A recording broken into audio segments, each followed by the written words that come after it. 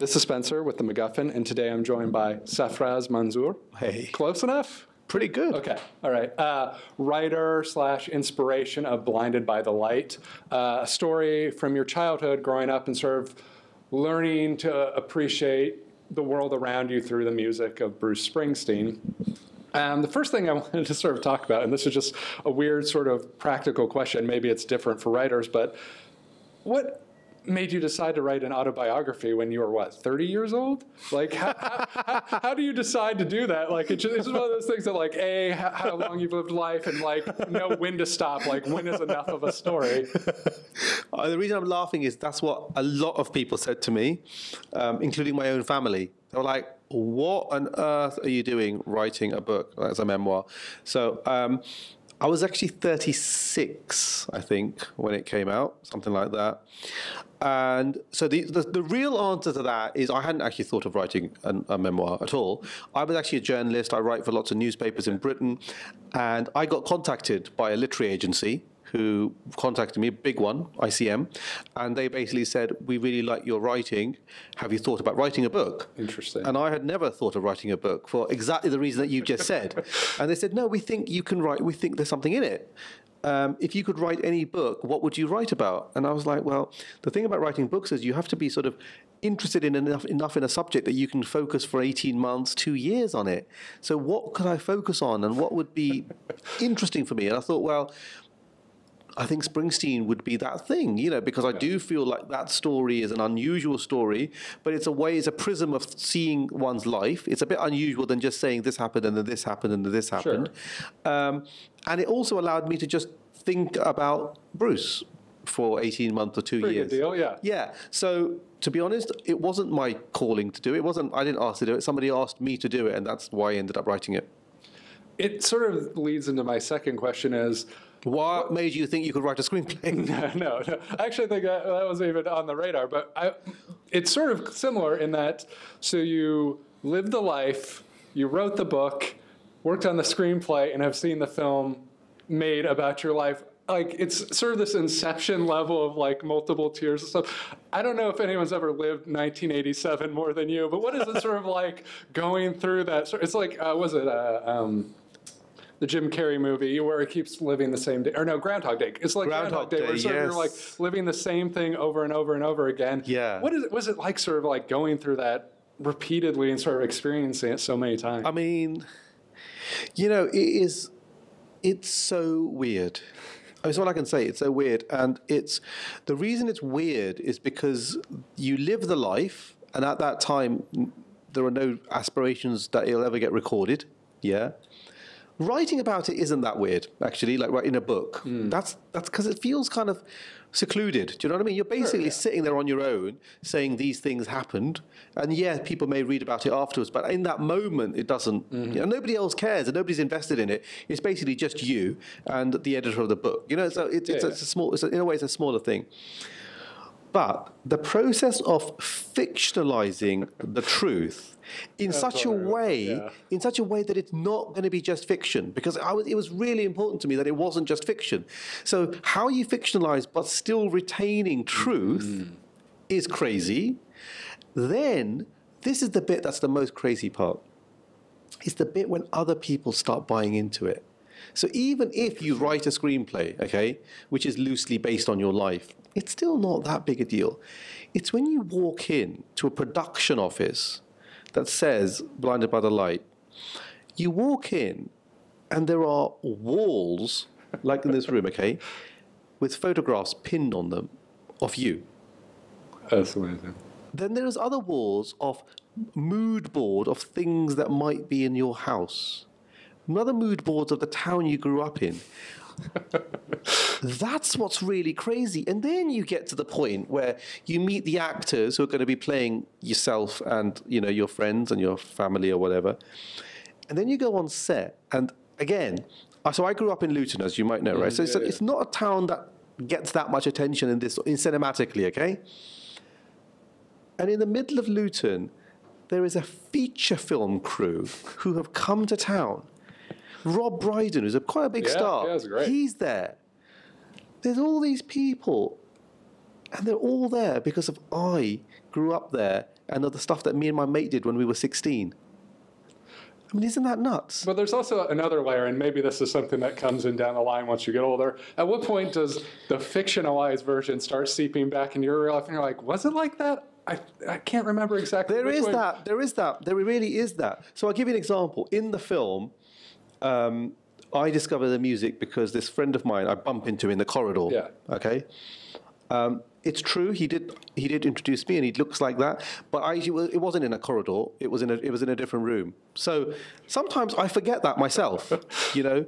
But I'll tell you the most, the weirdest part um, is that it's about my dad. Because my dad died when I was 23 years old. Oh. Okay, he died like six years after the film is set. And Kulvinder plays my dad eerily well. They've dressed him like him, Wow. they've made him up to look like him. You know, if you look at a photograph of my dad, which I can show you, and you see a photograph of Kulvinder, it's uncanny. Yeah. Interesting. And the thing that I found really weird recently is that my memories, my visual memories of my dad, have started to slightly mm. blur with the memories of with with, with Kulvinder. And I'm having to work really hard to hold on to what my dad really looked like, mm. not the fresh images of Kulvinder. So that's an example of where the blurring is happening. Well, there's there's another thing off of that that comes in too, and that's the sort of. It's interesting to sort of look back at this in several different periods of your life. You know, as a child, then as like you know in your 30s when you wrote the book, and now like Yeah. As has the aging process changed how you look back on your childhood? Or like like I mean, obviously there's some of that during writing the book, but like as an adult or a father or whatever, looking back and being Yeah, like, there is. I understand my dad so much more now, Yeah. or I would have done this different. Well, do you know what I think it is? I think that when you're 16, you very ra- it's very rare to have any empathy for your parents when you're 16. Yeah. Do you know what I mean? That's just not totally going to happen. So when I was writing the book, the first couple of drafts were quite angry, mm-hmm. as in the dad was quite. My dad was quite a fierce, tyrannical, obstacle kind of character, and it was as I started kept kept looking at it, I kept thinking.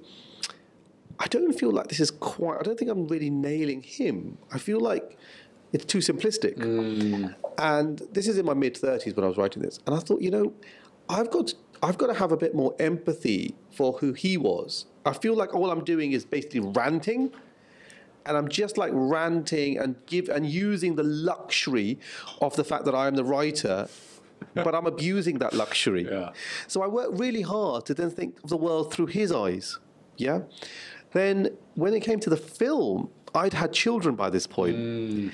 And in a way, one of the themes in the book and one of the themes in the film is this idea about how the world is seen differently between the father and the son.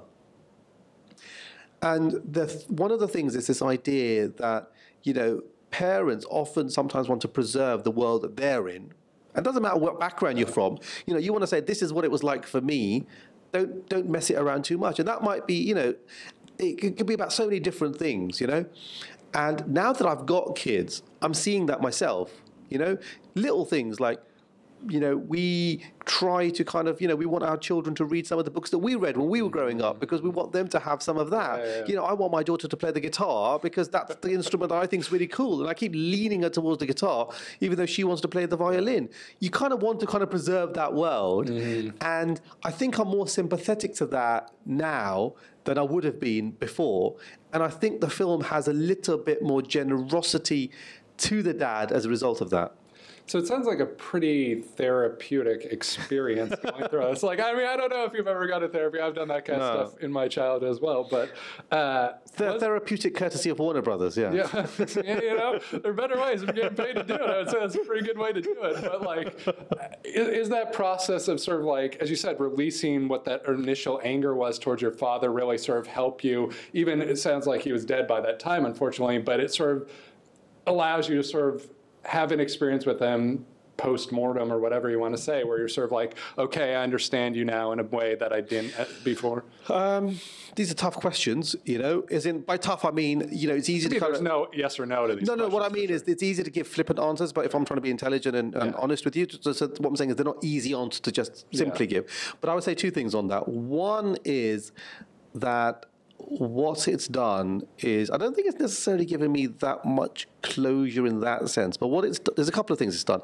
One is I feel like I have honored him in a way, um, Totally, as yeah. in, you know, he died before I could achieve anything in my life, and I feel like I've honored something about him. Totally, yeah. So I feel like that's an important thing. Um, the second thing I've done is my kids and my wife, who never met him, I feel like I've given them some visual clues Mm, interesting, as to what he was like. Which, interestingly, when it came to writing the script and working with, you know, Gurinder and everybody else, it was really important that those things were real because I wanted my kids to grow up feeling that they could have some affinity for that character. interesting, So, yeah. a little example you know, he doesn't drink, the character.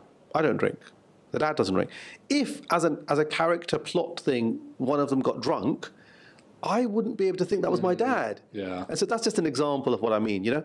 But the third part, which is the thing which you couldn't um, imagine or conceive, and you certainly couldn't plan, is the response from other people. So this is what's been insane. So I'm talking to you here in Seattle. I've been on a week long uh, sort of media tour. We've been to New York and San Francisco and LA and Phoenix. And before this, we were in. Uh, we've been we've been in Vegas as well a couple of months ago. When you hear people, and I'm being honest, when you hear white Americans telling me that the film has moved them, telling me that they've connected to the dad and it's reminded them of their dad. When you hear people from Korea or Vietnam or Japan or Mexico who are now live, who are from here as well, saying that somehow this story touched them, I just find that mind blowing. And one of my friends told me, she's, she's an American, and she said to me, What you've done is you've turned someone who lived and died in complete anonymity and you've made them an everyman. Well, it's, it's interesting because you're saying, like, in one side, this is like very specifically your dad, but at the same time, it's something that can be a template for everyone else. Yeah, and that's the mind blowing part. interesting, yeah. That's the. I mean, I didn't do the second part. That's it's not in my gift to do it. I just tried to tell a story. as You're more honest- talented than you give yourself credit for. Well, no, it's just in the end I did what Bruce does, mm. which is you know which is probably a grand thing to say, but ultimately I did the same thing. Bruce talks very specifically about his life. He talks about Asbury Park, he talks about Ocean Avenue and Kingsley Avenue, and he talks about you know specific things, and then other people buy into that world. And I tried to do that with with my story, you know. awesome. But that's the bit which I couldn't you couldn't ever imagine, and it's just. Yeah, an- yeah. it's an unbelievable feeling to think, you know, it's a, it, it, it's a really weird feeling that I don't know you, right? But you now know that my dad worked at a car factory, and you know that he got made redundant, and you know that my mum worked making dresses until midnight, and you know that, you know, money was tight, and you know that I tried to, I worked in a sandwich factory. That's kind of crazy, isn't it? Mm-hmm. It was pretty crazy. Yeah, it's pretty crazy. It's a pretty crazy world, and it's it's one of those things that you said. There is a lot of universal universalities to it that are pretty interesting. Uh, one thing I got to ask you about, the most obvious thing is, big Bruce Springsteen fan. Uh, you are. I grew up in a generation, I guess, a little bit after that was sort of like a big wave. Um, so this was by far the most Bruce Springsteen music I've heard in my life. I like, I mean, clearly a poetic lyricist for those of people who are like me and sort of introduced to him for the first time, what is your sort of guide to getting into the boss and his music and sort of like What, do you, is- what do you mean by guide? Like, what like should, like what like what albums Oh, are you okay. sort of the easiest to get to? What songs spoke the most? I mean, are you interested in getting into him? Yeah, I mean, I, th- I think his, his lyrics, are, are, as you said, are very interesting. Sort of Yeah. um, speak to people. So Yeah. I, I definitely think it would be something. Well, it depends. I mean, I, I, I, this film, the closest to the album to this film is an album called Darkness on the Edge of Town, and it came out in 1978, and it's just a re- it's just an album of what is it like to live in a world which is unfair but want more from your life, you know? And in Badlands, he has a line which says, "Talk about a dream, try and make it real," you know, and that's that's kind of core of the that's the kind of core of this story in the film, really. But considering the divided times we live in as well, you know, there's a lot in there. He says, you know, I've done my best to live the right way. I get up every morning, I go to work each day, but your blood runs cold and your eyes go cold. Sometimes I just want to hang on. I'm go doing it so fast. I've done my best to live the right way. I get up every morning, I go to work each day. So there's what I, what I think is cool about that that particular album is that it's it's gritty and it's dark, but it's also still optimistic ultimately. So that's a quite a good album. It also depends on what age you are. There's an album called Tunnel of Love, which came out in '87, and that's about disappointment and when you when life doesn't quite give you what you think it's going to give you. And for me, that's the one I go back to because it's not a mature, it's a mature album. Do you know what I mean? It's not an album for 20 year old dreamers. It's the album when things haven't quite panned out. He has a line in Lived that. some life, and now that's the one who comes. There's an album, there's a line in Brilliant Disguise who says, God have mercy on the man who doubts what he's sure of. And I love that line, That was a good one. you know. Um, all right, so the film is Blinded by the Light.